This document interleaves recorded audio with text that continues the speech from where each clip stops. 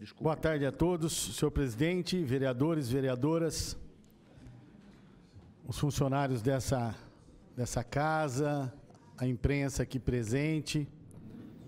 Meu muito boa tarde a todos vocês. Senhor presidente, eh, eu queria começar falando a minha fala em relação ao aniversário da cidade. Mais uma vez, parabéns, Bauru. Não tive a oportunidade esse final de semana de estar presente nas festividades devido a uma viagem que eu precisei fazer com o meu filho e acabou não dando certo de participar. Uma pena, na verdade, né? A gente sempre participa antes sem ser vereador, hoje aqui nessa casa. E infelizmente esse final de semana passou batido, mas eu fiquei sabendo que foi uma festa muito bacana é, muita gente prestigiando, né? É, o, boa parte do, do evento, principalmente à noite e no dia do aniversário da cidade, com o corte do bolo. Viu, o vereador Roger Barudi estava presente, eu acompanhei pelo jornal, e um, alguns outros vereadores também.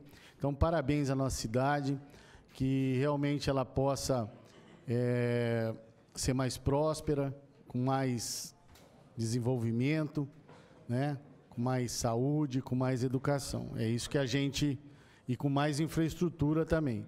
É isso que eu desejo para essa cidade é, que eu nasci, que eu vou continuar aqui a, o resto da minha vida, não tenha dúvida disso. Fui para Londrina esse final de semana, uma cidade é, um, maior que Bauru, não tenha dúvida disso daqui, mas não diferente dos problemas que nós temos aqui. Né? Não diferente mesmo. A questão de infraestrutura, questão asfáltica, está bem largado lá. Coisa que aqui, na medida do possível, está sendo solucionado pontualmente em alguns casos aqui na nossa cidade. Então, problemas todas as cidades têm. Parabéns, Bauru.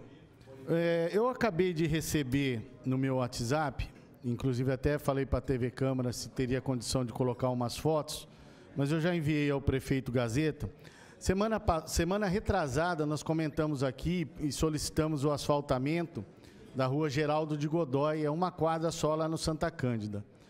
E agora, os moradores, eles estão passando a guia lá para dar sequência numa rua é, paralela a essa rua e que corta ela também, é, com o passamento das guias, e eles fecharam os acessos da, da quadra 1. Então não entra e nem sai carro é, dos moradores da quadra 1. Então, acabei de passar para o prefeito Gazeta e já solicitou a Secretaria de Obras e também falou com o TEL para verificar o que realmente está acontecendo lá, para que libere os acessos daqueles, daquela quadra é, da rua Geraldo de Godói. Ô, senhor presidente, na semana passada também nós pontuamos aqui a questão e solicitamos através de indicação a questão da terceira faixa da Rodrigues Alves, para que fosse feito um estudo da terceira faixa da, da Rodrigues Alves, da quadra 1 à quadra 13, é, dos dois lados.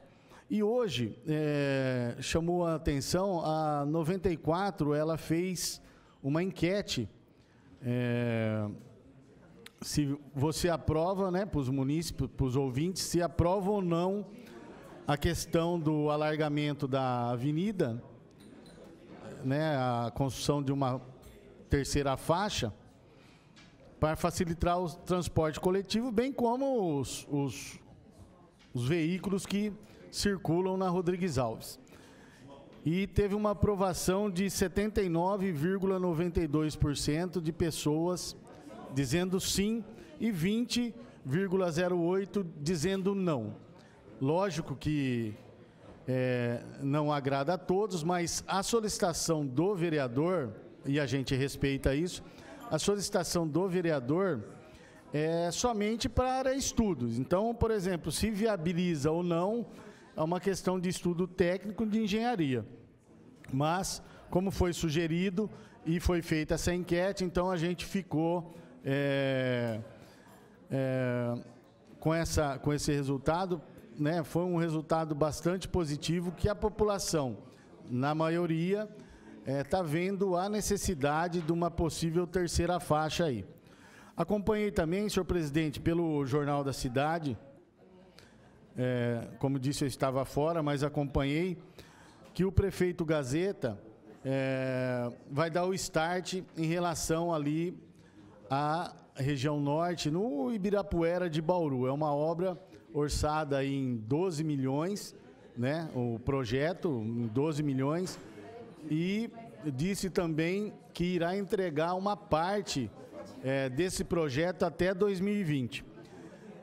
É, o, que, o que chamou a atenção, nós somos, eu sou morador ali da região, né? E várias pessoas, depois desse, dessa, dessa informação que saiu no Jornal da Cidade, eles entraram em contato comigo para saber se realmente vai é, acontecer esse benefício para aquela região lá. Eu acredito que sim, porque senão uh, o prefeito não iria fazer qualquer tipo de comentário aleatório, né, vereador Marcos? Né? E eu acredito que pelo menos uma parte é, será entregue. É isso que eu estou respondendo às pessoas que entram em contato comigo. Então, diante das informações passadas pelo veículo de comunicação Jornal da Cidade, é, as pessoas começaram a questionar e eu espero realmente que esse, é, essa, uma parte dessa, dessa obra seja entregue até o final de 2020. Era isso, senhor presidente. Muito obrigado. Boa tarde a todos.